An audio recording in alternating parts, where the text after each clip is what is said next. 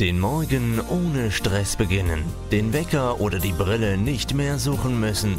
Mit der funkgesteuerten Projektionsfunkuhr WT535 mit Digitalthermometer auch für Sie kein Problem mehr.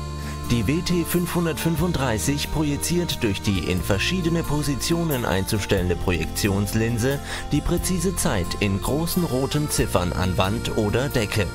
Das Signal für die hochgenaue funkgesteuerte Zeit- und Datumsanzeige empfängt das Gerät sekundengenau von der Atomuhr in Braunschweig.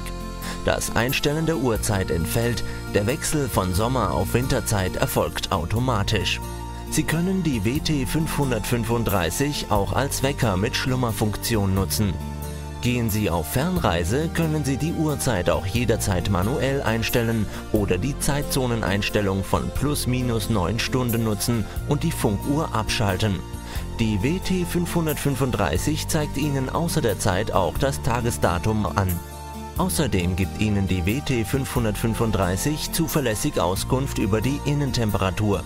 Die Temperatur wird in Grad Celsius angezeigt. Die Projektionsuhr wird mit einem Netzadapter geliefert, um den Betrieb des Projektors über eine längere Zeitdauer, zum Beispiel während der Nacht, zu ermöglichen.